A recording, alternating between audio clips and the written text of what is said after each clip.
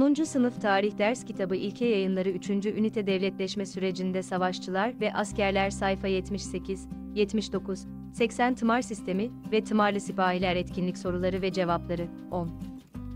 Sınıf İlke Yayınları Tarih Ders Kitabı Tımar Sistemi ve Tımarlı Sipahiler Cevapları, Tımar Sistemi ve Tımarlı Sipahiler 10.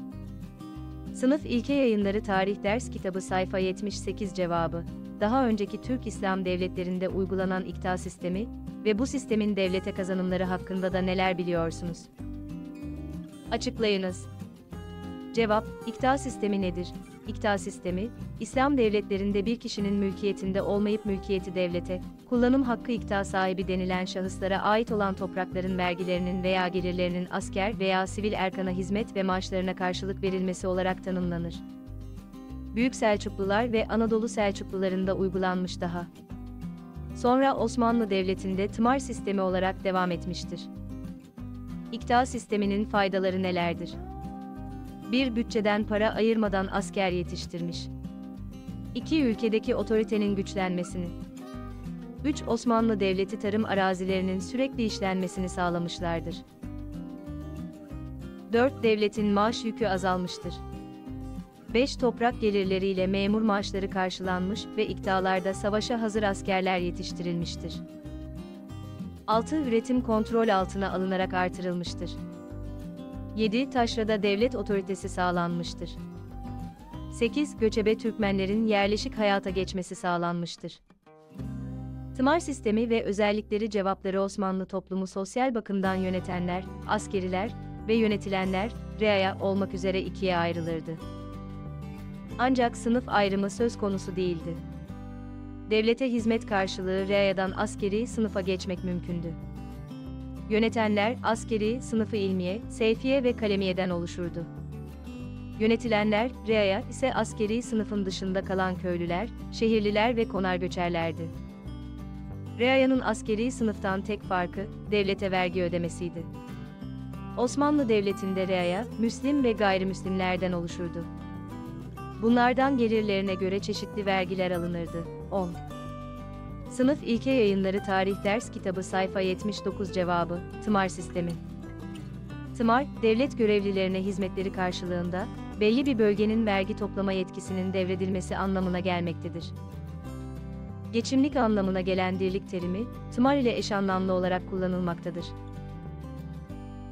Tımar yoluyla kitipler, dini görevliler, kadılar ve B sivil görevlilere maaşları karşılığında gelir tahsisleri yapılmasına rağmen, genel uygulamada, asıl amacın seferler için asker beslemek olduğu söylenebilir.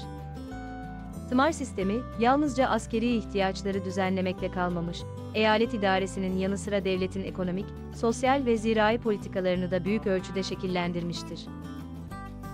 Tımarlı sipahiler, tasarruf etmekte oldukları tımarın geliri düzeyinde ve belirlenen kurallar dahilinde seferlere katılmak mecburiyetindeydiler. Sefer mevsimi başladığında, bu genelde Mart veya Nisan aylarıdır çeri başları bir ziyametteki sipahileri toplayarak su başına katılmakta, subaşılar da bir araya gelerek Sancak Bey'inin etrafında toplanmaktadır. Beylerbeyi de sancaklardan toplanan sipahi birliklerini bir araya getirerek padişahın ordusuna katılmak üzere toplanma yerine gitmektedir. Tımar sisteminin Osmanlı Devleti için sağladığı faydaları aşağıdaki tabloya yazınız.